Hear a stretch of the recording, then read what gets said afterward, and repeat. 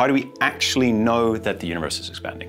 You can almost do it yourself, actually. Um, you, you, can with a bit of quite advanced amateur astronomy kit, but not a big professional telescope. You can do this. So what you do is you look at the light from distant galaxies. Um, so you have a, a, big enough telescope that you can see a galaxy that's quite a long way away, and you look at the light from it. Uh, what you find is that for all galaxies, then the light is stretched. So if you think of light as a, as a wave, a bit like a wave on water with peaks and crests, then the distance between two peaks gives you the colour. And so red light has got a big distance between the peaks and blue light has got a smaller distance. And what you find is that from all galaxies that are further away than the closest ones, the, the, the light is stretched so that the colours of the light from the galaxy are a bit redder. And what you find is the more distant the galaxy, the more the stretch. So that's the observation. If the galaxies were riding along on a stretching fabric, the fabric of the universe, if you like,